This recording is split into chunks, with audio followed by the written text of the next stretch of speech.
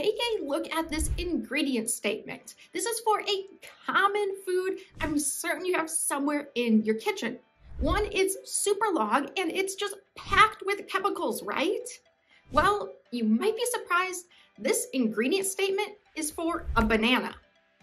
And this is the ingredient statement for a strawberry. Normally, you don't see these types of ingredient lists for fresh produce because it's not required by law, but it is required for a lot of other foods you buy in the grocery stores.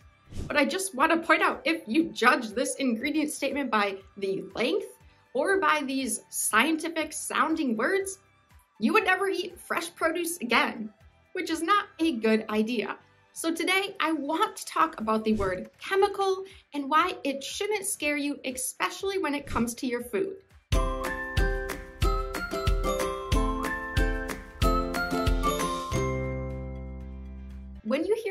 Chemical, what are some of your first associations?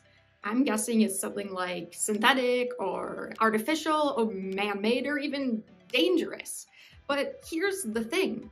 Every food you eat is made up of chemicals. Your body is made up of chemicals. The air you breathe is a mixture of different chemicals. I think we need to go back to the very beginning and start with, so what actually is a chemical? And in science, we use the word chemical to describe any type of substance that has a specific molecular structure. So it's any substance that's made up of molecules arranged in a specific way. And as you can see by this definition, you know anything from water, salt, sugar, proteins, they are all actually chemicals. And it doesn't matter if this chemical is in your strawberry or your potato chips, it's again a chemical because it has a specific molecular structure. It's made up of molecules, therefore it can be called a chemical. When you look at an ingredient list, I know it's easy to be intimidated by long names or names you don't recognize like myristic acid or aspartic acid. But those two, for example, they are both naturally occurring substances. Aspartic acid is an amino acid, so it is used to build proteins, which we need to live. And myristic acid is just a specific type of a fat molecule, and it's found in both plants and animals. And just because they sound scientific doesn't automatically mean they're harmful. But let's go back to the strawberries ingredient statement. Now you probably recognize some of these compounds. We have water, sugars, fatty acids, amino acids, but uh-oh, there's preservatives. There's two preservatives in strawberries, E236 and E296. And if I wanted to fearmonger, if I wanted to make you afraid of this food, of this ingredient statement, you know what I would say? I would say they must be hiding something. They didn't even write out which preservative this is. That must mean it's bad. But this is just because in the EU, this is the rules for making an ingredient statement. They have E numbers that correspond to each type of food preservative and even food additives. They don't need to spell out the scientific name of the ingredient. And I've seen so many times when people fearmonger about ingredient statements saying the US's food is worse than the EU, is worse than Canada, whatever. It's simply because those countries in those regions have different food regulations. The ingredient statements don't look the same because the laws are different on what food companies must do.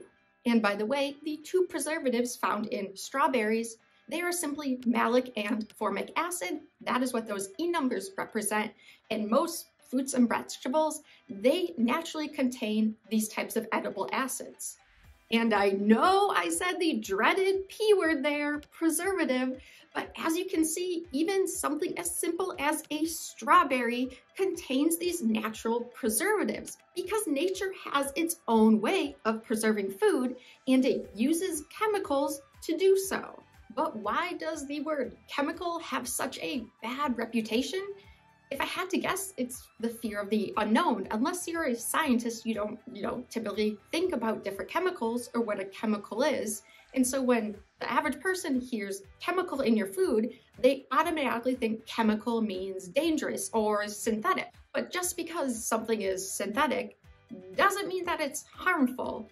And if something's natural, does not automatically mean that it's safe.